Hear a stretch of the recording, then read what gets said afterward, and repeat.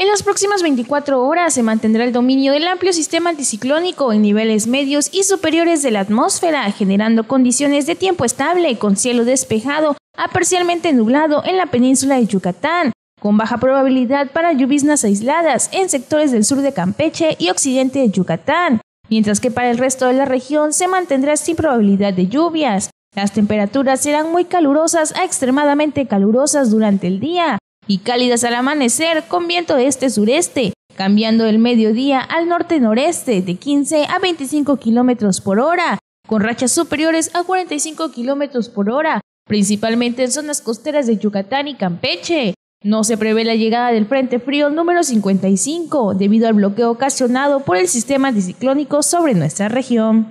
El pronóstico de temperaturas para la ciudad de Mérida es en el rango de 39 a 41 grados centígrados como máxima y de 23 a 25 grados centígrados como mínima. Para el resto del estado será de 40 a 42 grados, la máxima para el sur, y de 21 a 23, la mínima para el sur de Yucatán. Notivisión.